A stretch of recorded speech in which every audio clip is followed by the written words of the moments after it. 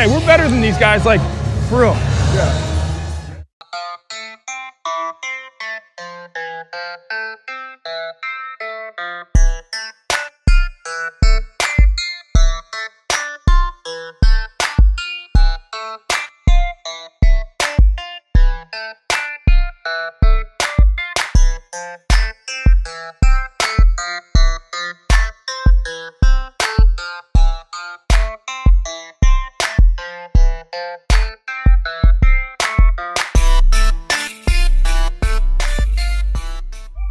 What's up, Panther Nation? In this next video, we're going to look at Penn State defensive end Yetur Gross Matos, who the Panthers selected in the second round at 38 overall. With Gross Matos, you're looking at a guy with elite traits. He's 6'5, 266, 35 inch arms, prototypical size for a 4-3 defensive end, but he also an explosive athlete is measured by his broad jump and vertical jump that he posted at the combine. When Matt Rhule talked about his player evaluation, he talked about how he looks for specific traits that can be developed into high ceiling players as opposed to looking for the most polished players coming out. And I think with Gross Matos, he, he fits exactly that. You look at his traits, his upside, his athleticism, all these things, and how you want to project him as a professional. It should all make you excited about what he can become. So in this video, we're going to break down Gross Matos' game in both run and pass defense. We're going to look at why he's considered such a high ceiling player at the next level. The first thing that stands out about Gross Matos is that he's a strong edge setter.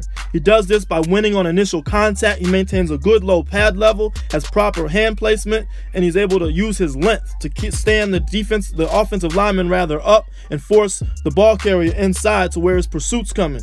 On this play, let's take a look at what he's able to do. He does a good job getting a good initial strike on the offensive tackle. Watch him utilize his length. The offensive tackle is not even able to get his hands on Gross Matos' chest because he's so long. Then he's able to force the ball carrier back inside. You see the Penn State defenders pursuing to the ball, and they're able to get the strip, force the fumble, and make the play.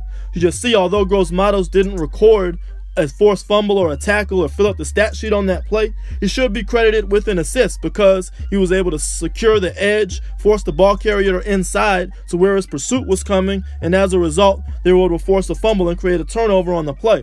So when you hear Matt Rhule say that Gross Matos is primarily going to be a strong side edge in addition to Stephen Weatherly. That's what he's talking about, just his ability to set the edge and be that strong run defender, control that C gap, and maintain proper gap discipline. So that think at a minimum, this ability will allow Gross Matos to see reps early and often as part of this D-line rotation.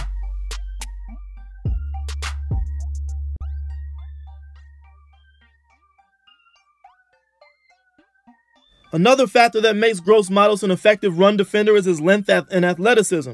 This comes in handy, particularly against read option plays. On this play against Ohio State, you're going to see him bite on the dive play, but watch him be able to recover, change direction, and utilize his length to grab the quarterback and prevent any additional yards on that play. So just see where that length, that athleticism, just allows him to further be more effective as a run defender. You'll see something similar here against Minnesota. You see Gross Matos as the edge here. He's going to get blocked down a little bit, but watch him be able to recover. Just look at that long radius to be able to get his arms out there, slow the running back down to allow his pursuit to come in and clean up the job and allow Penn State to gang tackle and limit a minimal gain there. He's also able to chase plays down from behind. On here, you're going to see Ohio State run a read option again. And watch Gross Matos. He's going to be able to stay disciplined to prevent any quarterback keeper. But then he's going to be able to come down, crash down on the running back as well. So you just see how that athleticism allows you to effectively defend the read option plays. Then lastly, you're just going to see Gross Matos is going to be the spill defender here. So he's going to force the running back to bounce the ball outside to where the contain is. But you'll see here, he's able to still recover, chase the ball down, and still force the fumble and get a turnover for his team. So you just see the kind of ways that he can impact the run game immediately. As a pass rusher, Gross Matos is still evolving. I wouldn't say he was a dominant pass rusher in college in terms of production, but when you just look at the traits that we talked about earlier, you look at some of the things you see on film with his hand technique, it just gets you excited about what he could potentially become at this level in terms of pass rush as he continues to develop his hand technique, he continues to start to plan his rush attack and diversify his pass rush moves. So what I'll do as far as his pass rushing technique is I'll just show of you a few clips of why I'm excited and optimistic about his ceiling as a pass rusher in the NFL. Let's first watch Gross Matos execute this stab and swat move, which I've seen him use very often.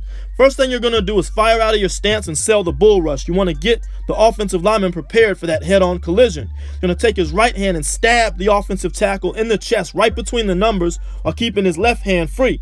That's his swat hand.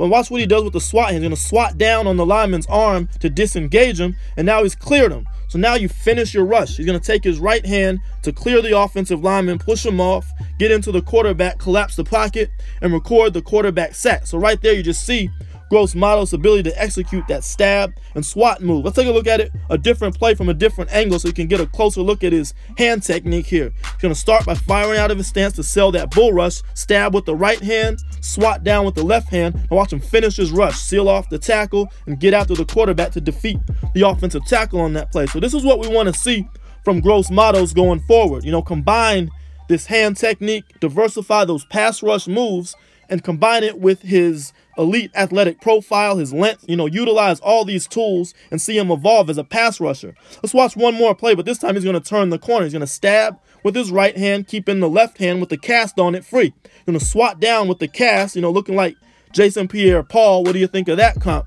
And once he swats down on the Ryman's right hand with his cast hand, he's going to bend the corner, dip, get after the quarterback, and help get in on the sack. So that's what you see from Gross Matos as far as the stab and swat move goes. Gross Matos is extremely effective as a pass rusher when he's able to utilize his length. We talked earlier about those 35 inch arms. Here against Ohio State, we're going to watch him utilize his long arm. Thinking of it like a stiff arm for a running back, but what you'll see him do, he strikes the offensive lineman with his left arm right between the numbers. And look at his length. He's able to extend, and the offensive tackle is not even able to get his hands on Gross Matos' chest because of that length. He's going to be able to redirect. He's going to finish the rush by using his right arm to seal off the offensive tackle, turn the corner, then collapse the pocket and get in on the sack there.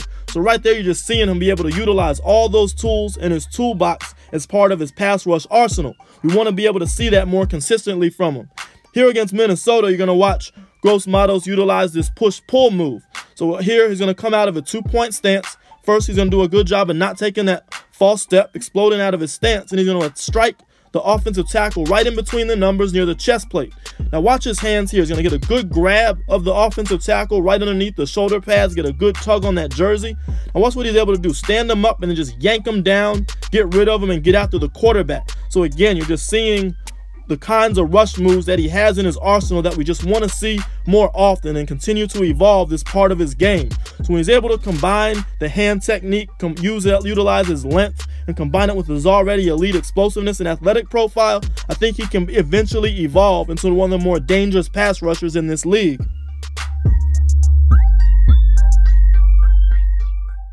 Then the last part of this video, we'll just take a look at Gross Matos' versatility. This seems to be a common theme with all of the draft picks from Matt Rhule in his first year. In addition to playing edge, he's also lined up at three technique as well. You know, why would you put a 265 pound defensive end at three technique? Well, particularly on pass rush downs, think about it. You want to create favorable matchups to get after the quarterback. So if an opponent is facing a third and 12 or a third and 10 must pass type situation, you can put your four best pass rushers on the field. Maybe go with a Brian Burns and Marquis Haynes as defensive end and move a guy like Gross Matos inside to create a favorable matchup against guards and centers. Because with his speed, ball get off, and length, he'll be a difficult matchup for a guard or center type player to handle him in a pass rush situation. Now, at, at Penn State, they did have him as a three technique on rundowns as well. On this play, for instance, you're going to see him take on a double team and allow the linebacker to meet the running back in the hole and stuff him for a minimal gain. But taking on blocks and double teams while he's shown the ability to do it, it's not something that he was consistently successful at. Like in these next couple plays, you're going to see him have difficulty holding his ground and get pushed around a little bit. And we saw that with Efe Obada last year. So I do know that he can play three technique, he can play five technique in an odd front, but I think is best suited for a 4-3 defensive end. Gross Matos was also dropped into coverage occasionally at Penn State. Now, personally, I've never really been a fan of dropping defensive linemen into coverage, but it does allow you to disguise coverages and disguise blitzes better. So if that's something Phil Snow has in mind, don't be surprised to see maybe Gross Matos drop in the coverage at a couple times. And he does have that athleticism to be able to play in space as well. So now you see what makes Gross Matos a high ceiling player. He has the great tools to become an elite pass rusher, and this part of his game continues to evolve. At a minimum, we know that he can be a solid edge setter, be a good rotational player, and give you 30 to 40% of the reps per game. But I think if he can continue to evolve as a pass rusher, continue to diversify his pass rush move, polish up on that hand technique, and just combine these skills with his already elite athletic profile, I think he can be one of the more dominant defensive ends in this league. So I'm very excited to see the kind of ceiling that this guy has and if whether or not he'll be able to achieve it during his career.